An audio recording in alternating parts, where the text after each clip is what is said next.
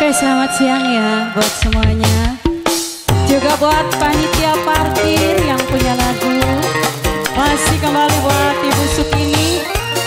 Sarang Bapak Rasmadi yang punya hajat.